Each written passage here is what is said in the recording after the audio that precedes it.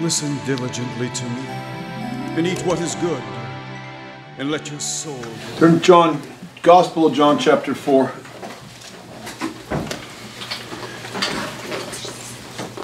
Gospel of John, chapter 4. Yeshua is speaking to the woman at the well. And she's talking to him about religious things, religiosity, and men's traditions being the way to the Father, the way to salvation. And he just totally blows her lid, the lid off of her cup or the, her top.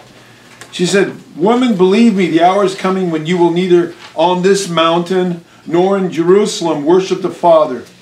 You worship what you do not know. You worship what you do not know. How many people worship what they do not know? They know traditions, they know religion, they know doctrines of men. This is their God box. This is their box called religion. But they don't know Him.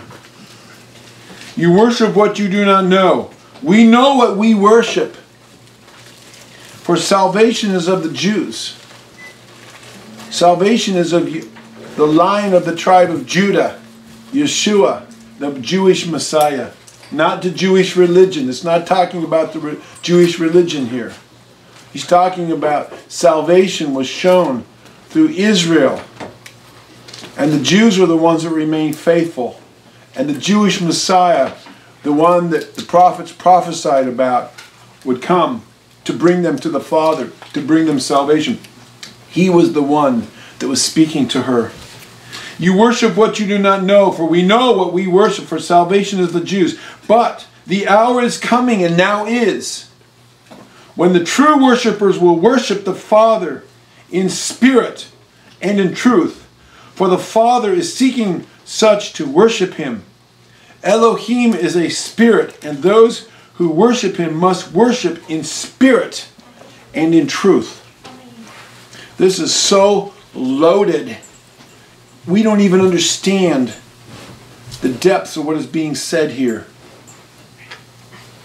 I began to explore this passage. It rocked my boat back in 19, about 1995 or 1996. And since then, I've been learning more and unpacking more and more. We can't go into all of it now. There isn't time. And most of us don't have the capacity. But we do the best that we can. Spirit and truth. Most of us spend our time in truth but the Father is said that you must worship me in spirit and in truth. Truth is something that is perceived largely by the mind of man. It, it's a, it's a well, I, I shouldn't say that. Truth comes from the Spirit, the Spirit of Elohim, and comes to our personal spirit. We are body, soul, and spirit. We are a tripartite being. Uh, Paul says that in 1 Thessalonians 5.23, and I can give you many other scriptures where it talks about the spirit in us, which is different than the soul. Our soul is our mind, will, and emotions, okay? I'm not going to get into that. That's a whole other teaching. If you are at Sukkot this year, I may have, I that may be something I'm going to be teaching about, the spirit man, which most of, most of us have not been taught about these things, or very little. But it is the Spirit in us that must connect to the Father, not our mind, will, and emotions. Too many times we come and we try to connect with the Father through our emotions. We throw our emotions at Him or we get all hyped up emotionally. I spent a number of years in the Pentecostal church and it was very blessed. But there's a lot of emotionalism there. Not all emotionalism. And there's other, you know, in, the, in charismatic, but a lot of it, it, it, it it's very easy. We want the Father wants us to worship Him with our heart, soul, mind, strength, and our heart and our emotions. But it's got to be under the control of the Spirit. And when the emotions are under the control of the Spirit, not under the control of the the soul man, it's a wonderful, beautiful thing, like the worship we saw here. But often emotions can be ginned up and, and turned in and, and become huge so that the spirit is not in control. And that's a whole, well, maybe we'll talk about that later. Same thing with the mind. I grew up in a church where the mind, not it wasn't a Pentecostal or charismatic church, it was a church that was the opposite of that. We didn't believe in the Pentecost in, in Pentecost or the, we kept the feast of Pentecost, but we didn't we didn't know what it was. We didn't believe in the, the gifts or the, the moving of spirit, speaking in tongues or any of that. In fact, we were scared of that. And we were like, get that out of here. If you did, you'd be kicked out. So in that church, I, we worshiped the mind. Everything was the mind. Everything was the mind. We would study the Bible. We knew the Greek and the Hebrew. We discuss and debate and argue about the words and all of this stuff. And we had all of this head knowledge. But we did not know how to hear the Father. We did not know how to be led by the Spirit. We did not hear the Spirit. So you can go to one extreme or to the other. But the Father says that He is a Spirit and those that worship him must worship him in spirit and in truth. And that the things of Elohim are not perceived by the mind of man, by the soul of man, by the mind or the emotions or the will, but by the spirit. It says that in, I think it's 1 Corinthians 3. Uh, somewhere in there. I don't have time to go through all that. We're just going over the waves. This is a very spontaneous, extemporaneous teaching here that ties in with a handout I want to give to you in a little bit. The Father is saying we need spirit and in truth. Spirit and truth. Too many of us, and I include myself, I am a Bible teacher. I have a lot of teachings out there. I've got like two Bible commentaries or Torah commentaries and uh, about a hundred articles and two over two thousand um, blog pieces and four hundred videos, most of which I have done. A lot of it is head knowledge. We need the a foundation of truth, okay? And I get that. Those of us that are coming back to the Hebraic roots of our Christian faith, we need a, a solid foundation to build the house on. And it's got to be a foundation of truth. I mean, after all, if you don't know what the truth is, how do you know what to build on? So we need to know the truth. And Torah is truth. But then, but it's, that doesn't bring us in and of itself into a relationship with the Father. Relationship, look at the relationship that we have with uh, our children or with our spouse. It's not just based on the fact that you are my children. The knowledge that you came out of my body or we're married and we have a ring and a piece of paper and we exchange vows. That's great. But that's that's that's facts and head knowledge. You live in my house. We drove in the same car to get here today or whatever. But it's it's more than that. It's about affection. It's about feelings. It's about spending time together. It's about communing together. It's about walking together. It's about friendship. It's about love. It's about sex. It's about you know intimacy. It's about all of these things. Sex can be just a, a, a function of a you know a biological, emotional thing, and there may be no spirit or no no heart in it. That's what prostitutes and people that go to them do, and that's what a lot of lust is all about. And there, there's a, a much higher level than all of that. See, all these things can be reduced down to just physical, mind, mechanical, biological, or even emotional and the spirit is totally lacking. So the spirit has to do with a relationship. And it has to do with intimacy. It has to do with commitment and devotion and, and obedience. Okay. So we have to come to the Father in spirit and in truth. Not just on the basis of head knowledge.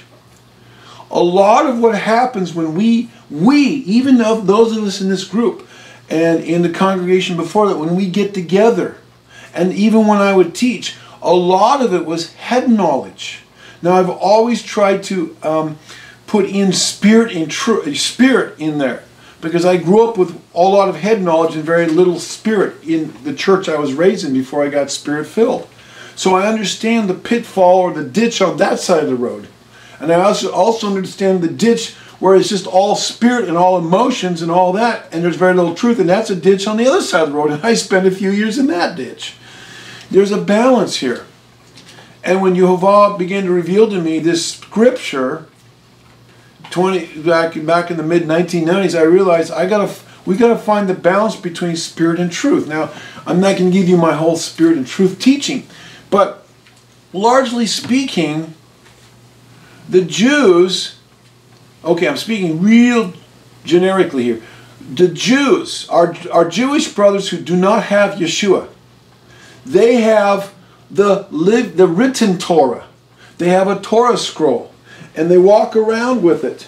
And they, you know, they have all kinds of ceremonies and rituals that they do, and it's really important. And they, you know, they venerate it. They, they don't idolize it or worship it. Some people think they do but but they really don't. But in a sense, you know, they kind of do a little bit. But anyway, this is this is a little mini Torah scroll which I carry with me because I love the word of Elohim. I don't worship it. It's just this, just a little paper one. But they are real focused on all the letter of the law, the do's and the don'ts, and in obedience and in ritualism and all of that. Now, the Christian church, so they venerate the and, and, and have great love and adoration for the written word of Elohim. And of course, they've got a lot of men's traditions in there, all that, the Talmud and all that. We won't get into all those things. But that's where their focus is, is the jots and the tittles of the law. Now, the Christians, the Christian Christianity, churchianity, focuses more on the spirit of the law, on grace, on love on loving your neighbor and not so much on obedience. After all, if we're under grace and Jesus did it for us, what do we have to do as long as we love our neighbor? And they just kind of like it. So they focus on the living Torah and on the spirit. So you have the one side that focuses on the letter and the truth and the written Torah, and the other side on the spirit and the living Torah, Yeshua, G they call him Jesus, of course, and the truth is in the middle. We need spirit and truth. We need the letter and the spirit. If you just have the letter by itself, Paul says the letter killeth, but the spirit maketh alive. If you just have the spirit, then it's what that if all I have to do is the spirit of the law, then I can go back to the Sermon on the Mount, and Yeshua said, you know, you shall not look at a woman in lust or not have hate in your heart. That's murder. So if I'm just going to follow the spirit of the law, it's all right to have physical sex with somebody who's not my wife as long as I don't um, lust after her. Or it's all right to murder somebody physically as long as I don't hate them. Of course, that's absurd and that's ludicrous, but that's basically what the Christian church teaches. Now, on the other side, the Jews teach if you just have the letter of the law, I'm not saying the Jews teach it, but if you just have the letter of the law, then it's all right to hate as long as you don't murder. It's all right to not lust as long as you um, don't commit adultery. And that's what Yeshua was addressing at the Sermon on the Mount. He was talking to the Jewish people in that day where they had the letter, but they were missing the spirit. Well, the, a lot of our brothers and sisters, a lot of the time in, in the church, and a lot of us in the past, we've missed the letter. Well, we can rest in the Lord and we rest every seven, you know, we rest all the time, but I don't have to keep the Sabbath. See? That's the spirit, but not the letter with regard to the Sabbath. The Father wants us to do the Spirit and the letter. That's what the Sermon on the Mount, Matthew 5, 6, and 7 is all about. Okay, we could spend hours talking about that alone. Back to Spirit and Truth. Spirit and Truth. Now, most of us come out of the, almost all of us, one way or the other, come out of the, you know, the, the mainstream Christian church. Oh, let me just say, within Christianity, you have also this spirit and truth paradigm. You have denominations that focus more on obedience and holiness and the do's and the don'ts and on rituals. And then you have denominations that focus more on the spirit.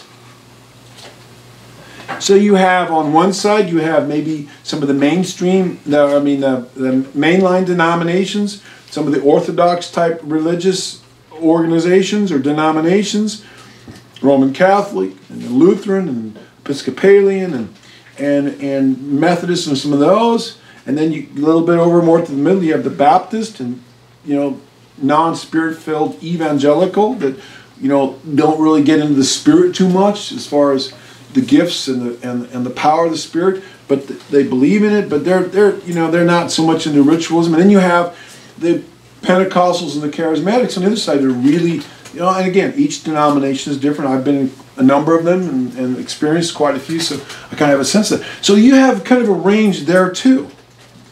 Well, we want the truth that they all have and the spirit that they all have that lines up with the Bible. So I'm not dissing anybody in particular. I'm saying there's a lot of that's out of balance there, and we want to get back to the Bible. And look, none of us have arrived. I haven't.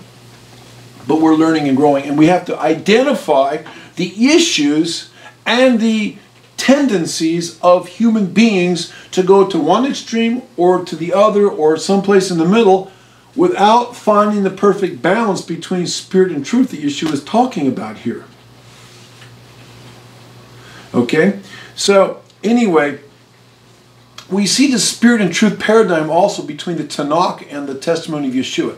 The Tanakh, the Old Testament, focuses more on the Old Covenant, quote unquote Old Covenant, and the Torah and the letter law, whereas the New Testament focuses on the, the, the grace, the mercy, I'm not saying the New Old Testament doesn't teach those things; it does. But the New Testament definitely definitely focuses more on the spirit of things. So some people that are only spend their time in the New Testament will gravitate more in that direction, and those that are only in the Old Testament or the Tanakh will gravitate more in that direction. Again, we need the whole thing, Genesis to Revelation, the spirit and truth, the Old and the New Testament.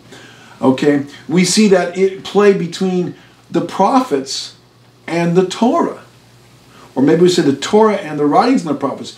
The Torah, the Torah is more the truth, that's the foundation, and the prophets and the um, the writings. The writings would be Psalms, Proverbs, Ecclesiastes, Ruth, and these these guys, Job. Those would be more the spirit of things. We see this this dichot. It's not a dichotomy. It's it's really two sides of the, of the same coin.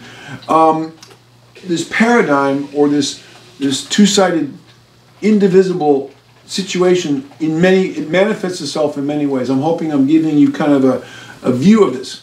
Now those of us getting back to what i just was saying those most of us come out of a, a mainstream christian kind of a background okay?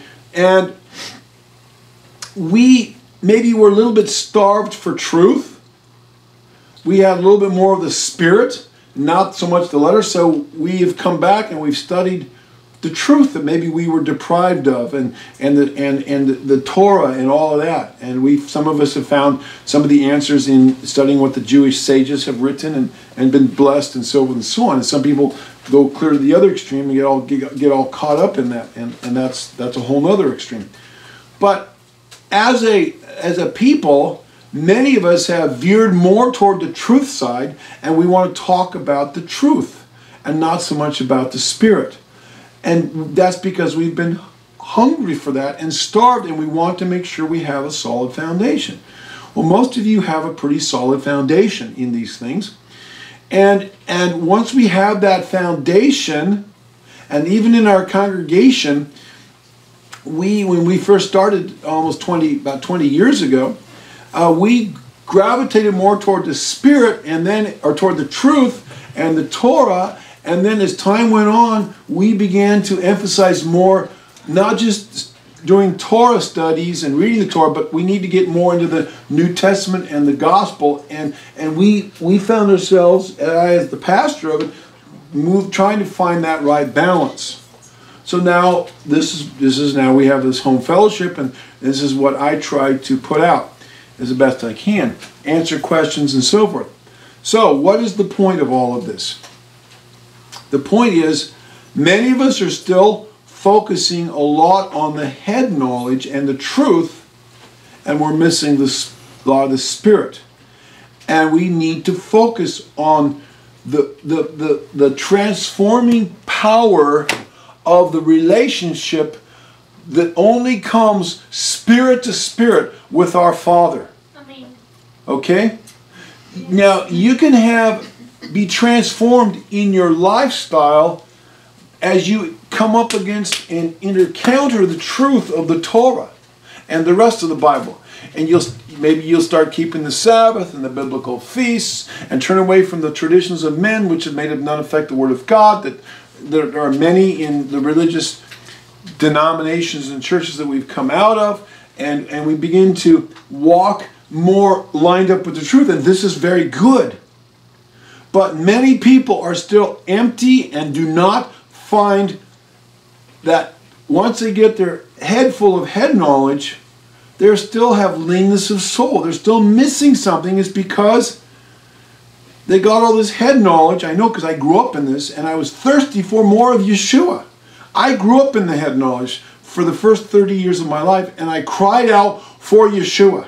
Yeshua, where are you? I want you. And I was desperate. And I had to go searching for that outside of where I was at. And that's when I got filled with the Spirit in my living room one day. He was merciful and gracious to me. And that started a whole new journey for me, which has been going on now for almost 30 years. So, what I want to give people, I can give you the head knowledge and you can get it out there. Just go on the internet. But we need the spirit. We need to know how to walk out that head knowledge in a way where we are a river of life to those around us, where we are helping to expand the kingdom. We're not just a, a funnel that all goes in here and we have all this head knowledge, so our heads become this big. But we have to share what we have. That's why a few weeks ago I taught about the Romans 12 motivational gifts. It's not just so that we can know what our gift is and say, look at me, I'm a teacher, I'm a prophet, I'm a you know, an administrator or a leader or I'm a whatever, a servant or a or a helper or a exhorter. You know, no, it's so that we can know what we are, so we can be a blessing to those around us. And when we step in that river of life, guess what? We find the joy and the fulfillment and the mission and the destiny for which we were called. That's why it's very important that we get together to encourage one another, like we're doing here today. That people get together because otherwise you sit at home and you sit on the internet and you read and you watch videos and you learn and you read your Bible and that's great, but you don't have a way to encourage one another and maybe we're out in the world blessing others, maybe we're not. Hallelujah. That, that she's got a heart for the Koreans and she's you know going to be a river of life to them and they're going to Japan and, and, and, and try to help that dark nation. Some of you have outreaches and you're doing that. We need to just be walking outreach everywhere we go. And to be a river of life means we've got to be in the river of life. And our spirit man needs to be connected to the spirit with a capital S, which is how Elohim feeds us. And then that feeds our mind, will, and emotions and directs us what to do. Having said that, could I get somebody, one of the one of the young men over here, to pass one of these out to everybody here? I got plenty for everybody. And this is a handout. I put this on my blog. This is 22 practical tips to walking in the presence of Elohim. To be, this is one of my sayings. I have sayings that I coined. Remember this. To be a river of life, you have to be in the river of life. If you're going to learn how to swim in a river, you got to get in the river and start swimming. You're not going to learn to swim if you're on the sidelines looking at the river. So, just like Ezekiel, he, there, there was a river that flowed from the temple, that vision he had of the temple. And he went, he got in the river, and Elohim said, Get deeper, get deeper. And finally, he was like swimming, he was in over his head. And we sometimes need to get in over our head. And I have taught this in so many ways. I've taught what I'm teaching here in so many ways.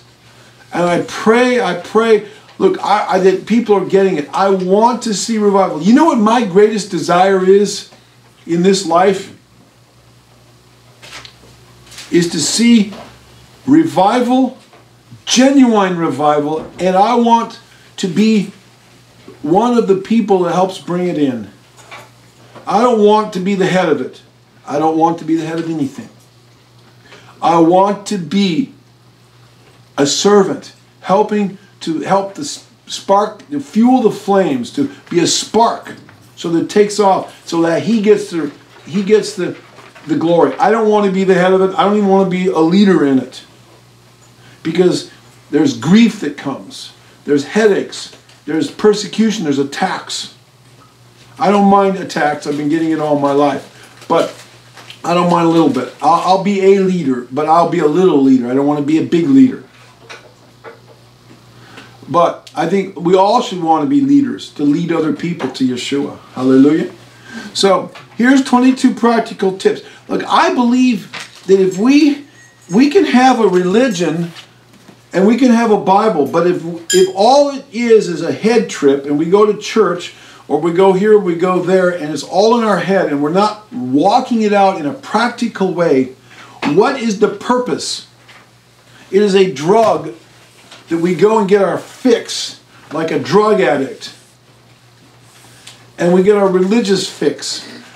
Every week I see people going down to the Catholic Church at my at the end of my street and the cars after them. And I'm not judging anybody. Look, there's really good people.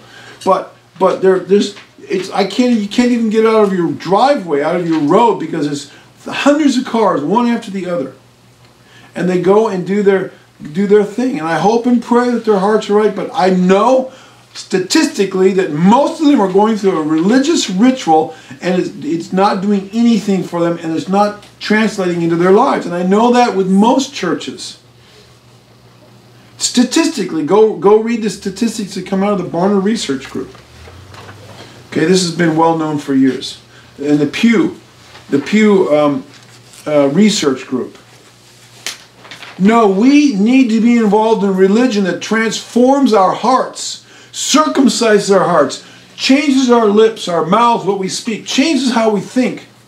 Only then can we then be a light and salt to the world. Only then, when there's revival in ourselves, in our own hearts, only then can we help to revive other people. We can't expect other people to walk out, but we're not walking out ourselves. It will ring hollow, it will be a clanging gong and a, a, a, and a, and a tinkling cymbal. It will be nothing.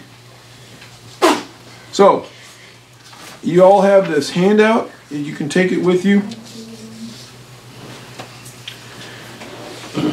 I'm going to read what I've written here. It's time to extricate Yehovah Elohim from our religious boxes to which we have confined him. These boxes are the times and places where we go and do our God thing. This can be a church or other religious service, grace at meals, and even our personal devotional times.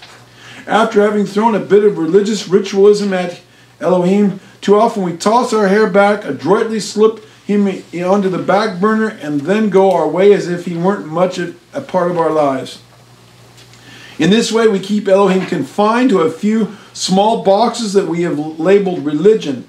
It ends up that we live our lives how we want to without thinking too having to think too much about him. In this way, we keep him trapped in these closet prisons of our own contrivances when in reality he wants and demands to be part of every aspect of our lives.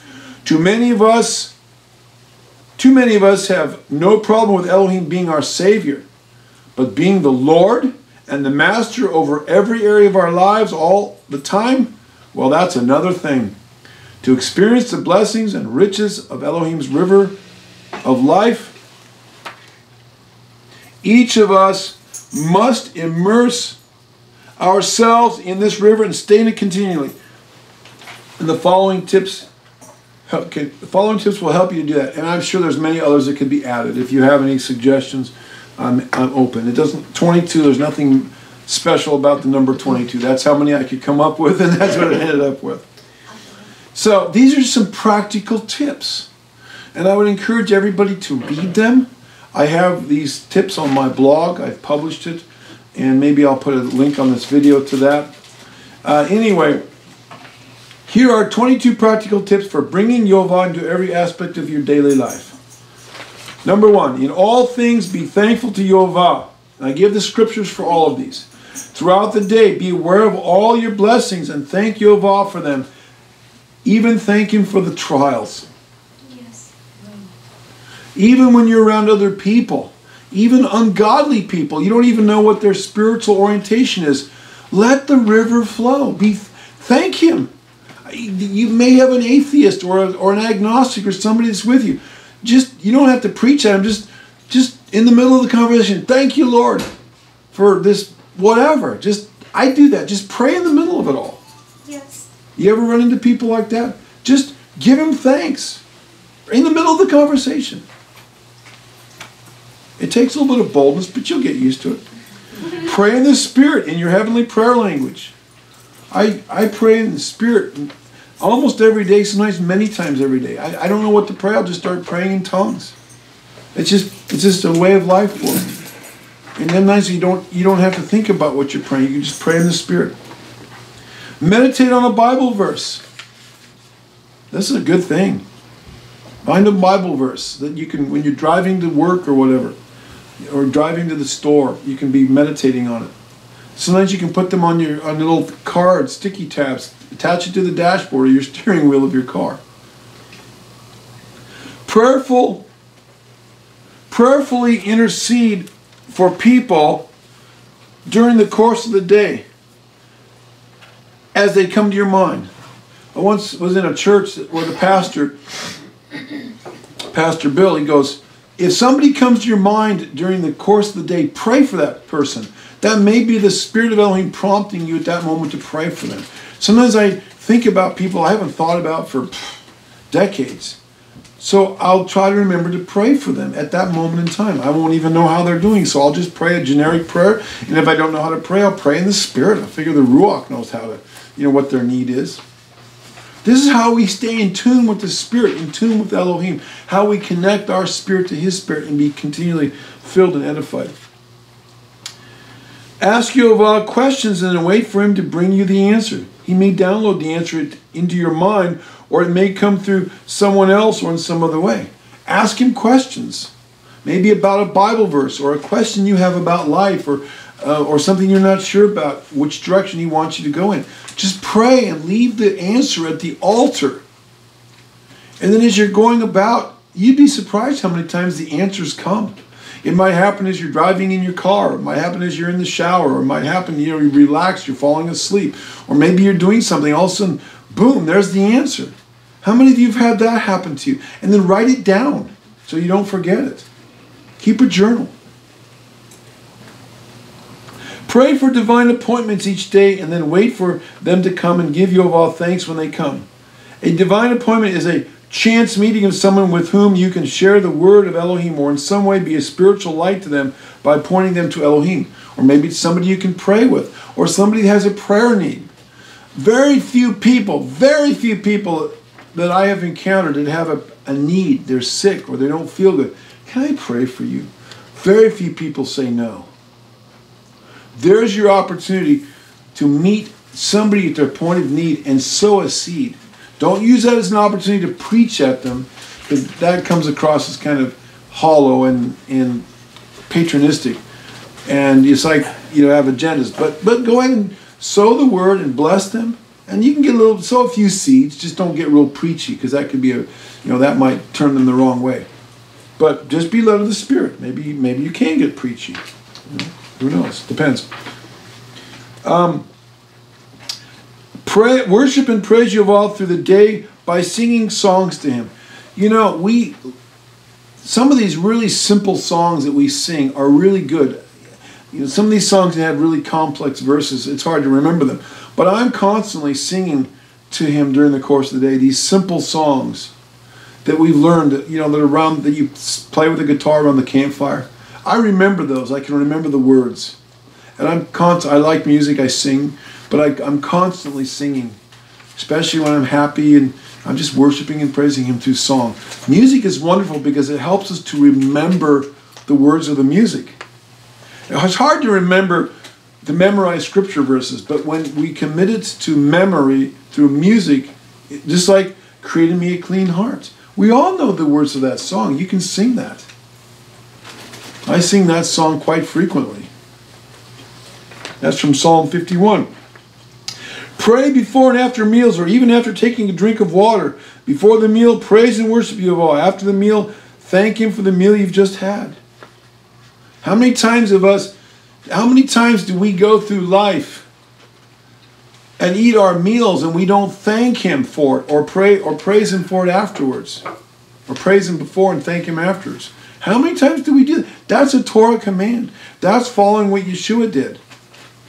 I may not always thank him at that moment, but I try to do it uh, uh, afterwards, or sometimes I, I forget, I'm in a hurry, and I'll thank him later. But I always try to thank him, even when I take a drink of water. I don't do it every time, but I try. Look, it's a blessing. You know, our Jewish brothers and sisters even have a prayer of thanksgiving after you've relieved yourself in the bathroom. Yes, there's a prayer for it. You have seven holes in your body, the prayer goes. Thank you, Lord, for the seven holes. And the prayer goes, if any one of those holes were to get plugged up, I would die. Yes. Think about it. How many of us take these things for granted? Every breath that we have is a gift. This is how we can stay connected to Him. In this country, we are so wealthy and we are so blessed and we have medical care and we have this and we have that. We take so much for granted. I was listening just the other day to a missionary who's been to Africa many times and he goes, you know, there's like a Nigeria, the northern half of Nigeria is basically Muslim. Now, Nigeria used to be pretty much a Christian nation. It was it was colonized by the British and heavily evangelized. But the Muslims have been moving in and killing and persecuting the Christians and burning whole villages and with machetes and axes killing thousands, hundreds of Christians. And the Christians don't fight back. Not much. That's a whole other discussion. But this missionary was there a few years ago and he went, and this has been happening in Syria also uh, by Christians, where whole um, people, whole villages are destroyed, and the women and the children are taken into slavery, and many people are killed. And you go there, and the people are rejoicing. They've just lost their loved ones, and they're rejoicing. Why? Because Jesus is all they have. And when this missionary went to Nigeria, he said, Why are you rejoicing? That our loved ones were worthy to be counted to be persecuted for Yeshua.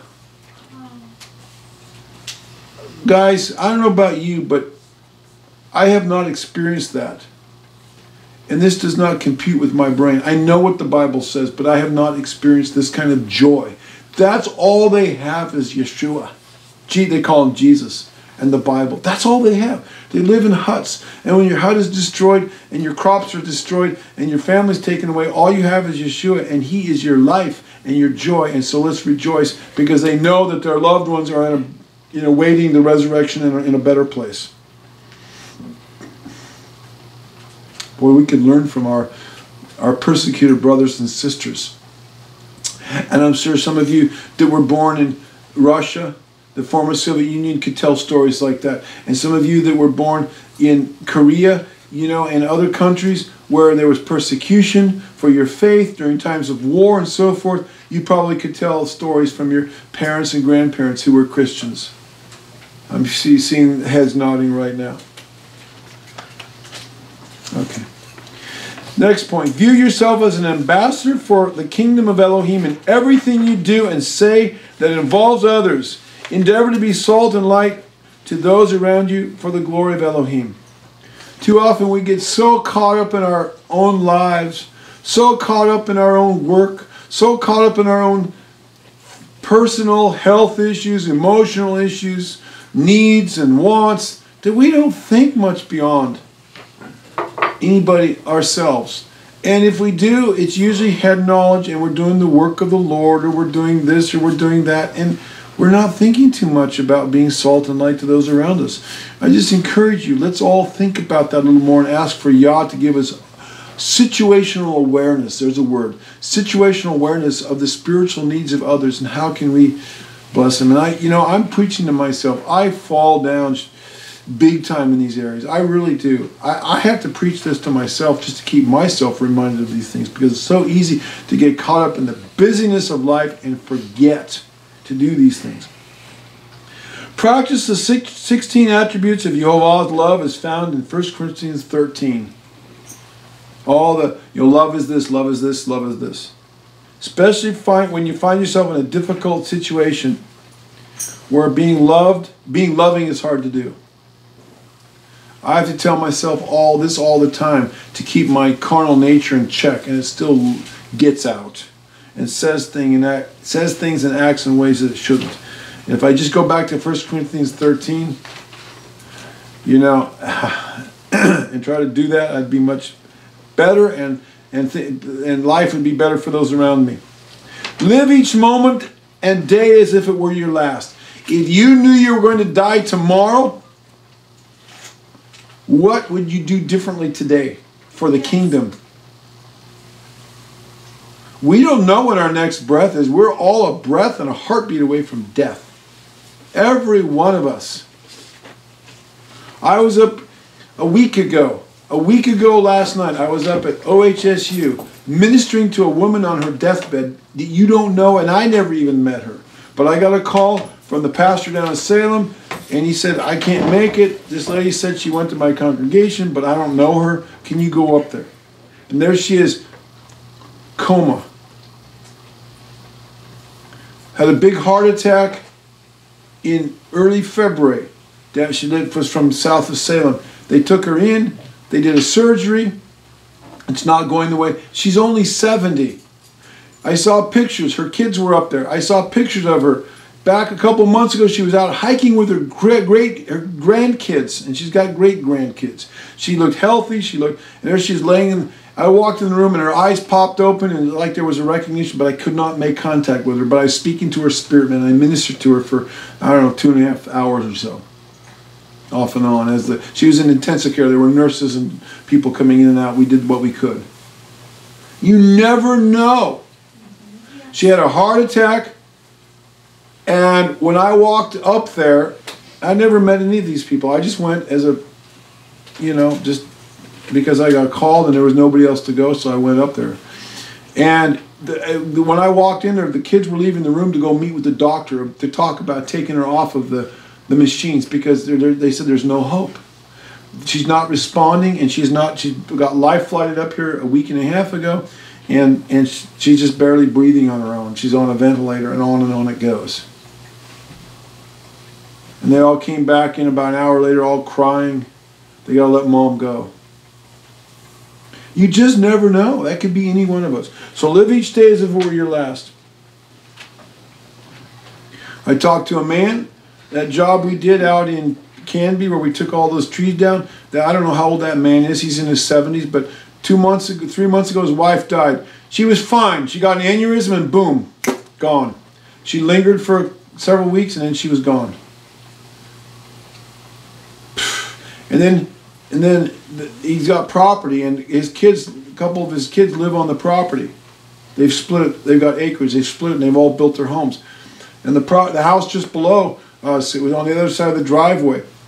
That that gal, he was forty. No, he was like in his fifty-one or late forties, and her husband, the son-in-law of the man, just dropped dead. Uh, can, oh, cancer. Didn't just he got cancer. He was like younger than me. You never know. So they lost two family members in, in a period of about three months.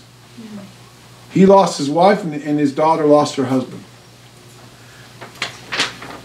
Um, live each moment and days were your last. Express joy in the face of adversity. Endeavor to plant spiritual seeds wherever you go. I'm always looking for opportunities to plant spiritual seeds. I'm passing out Bible tracts and and um, um, what do you call it? Bread of uh, daily breads to everybody, all my customers. Almost every single one gets a tract and a, a my tract I've made and a daily and a, and a daily bread. When they give me the check, I give them one of these. I've been doing that for years. It's one one way to witness to them. I mean, there's different things we can do. Some of you guys on social media, you know, your social media titans. Well, use it. Don't just spend your time chit chatting about silly stuff. Use it as a way to, to bless people. When bad things happen you, count your blessings. Express joy, be thankful, bless your enemies, pray for those who despitefully use you. Always practice the golden rule. You all know what the golden rule is. Do it. It makes a difference. Practice being a peacemaker, especially in difficult situations when you want to defend yourself or fight back. Just zip it and be a peacemaker. You don't always have to get the last word. Do something selfless or altruistic for someone each day. Do something for somebody that can't pay you back. A homeless person or somebody that you can't, I mean, whoever that might be. Know they can't pay you back. It's more valuable spiritually if it costs you something and no one knows you did it. Do everything, including the most menial, minimal and menial task for Jehovah's glory.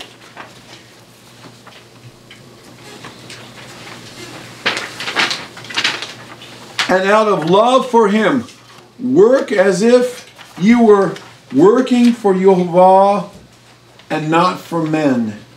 I tell my customers, they thank me for a good job I did. I said, I'm working for Him. They've had other contractors come on their property and leave a mess and this and that. I go, look, and they thank me. I said, look, I, I love you, but I'm working for Him. Uh, he's my boss, and I want to please Him. And I figure if I can please Him, I'm going to please you. They get a smile on their face. Yes. Read your Bible and pray after you get up in the morning and, and as you're going to sleep each night, even if it's only for a few minutes. Everybody's too busy. Baloney. You're too lazy.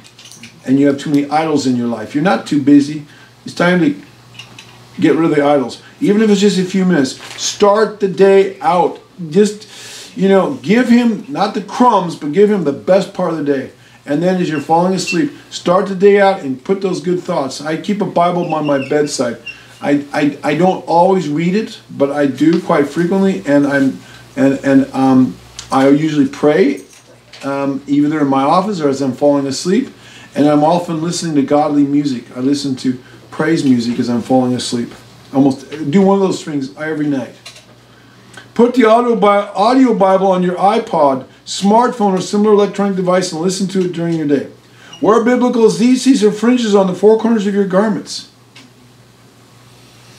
I wear, okay, I wear them almost all the time. I just, I I, I wear them to work, but I need to sew, make a new pair because I wear them out really fast.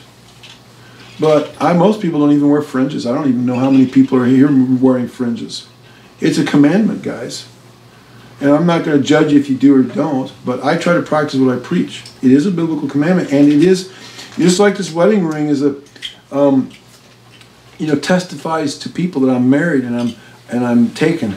Well, your tzitzis testify you are taken. You are under covenant. You you are in allegiance to the Elohim of Israel. We say we're Hebraic.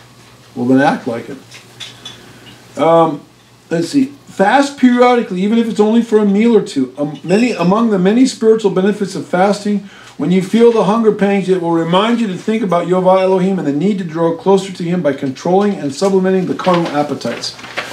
When, when we fast, even if it's a little bit, I purposely fast a meal here and there because I want to feel the hunger pains. I don't want to rule, I don't want my carnal appetites to rule me. I want to feel the hunger pains because that's a way to push the, the soul man down and let the spirit man rise up. That's what Day of Atonement is not, not all about, but a large part of it.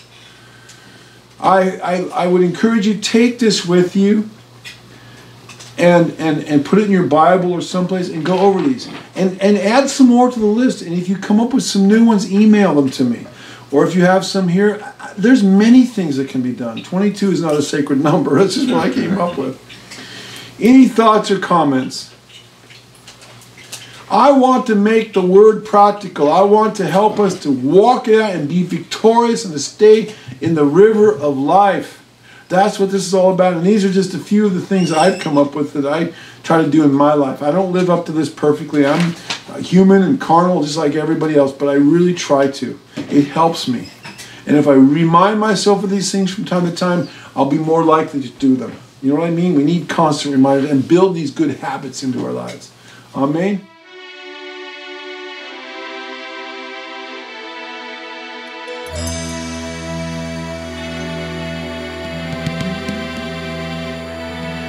Come, everyone who thirsts, come to the waters. Come and eat.